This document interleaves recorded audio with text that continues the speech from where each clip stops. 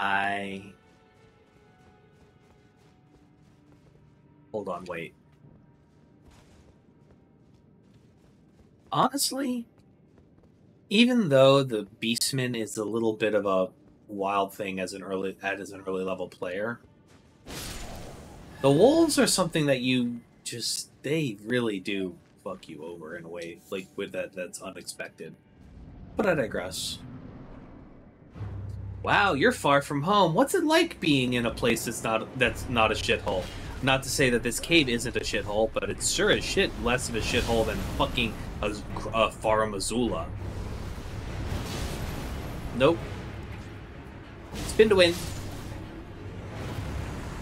And that's why your god left you and your civilization is dead.